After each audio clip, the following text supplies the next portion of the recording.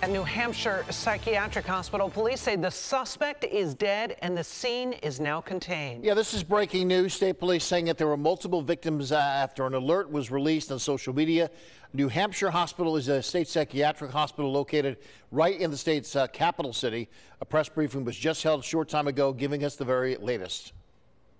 The scene remains active as one suspicious vehicle has been located. The, sus- the suspect in this uh, situation is deceased.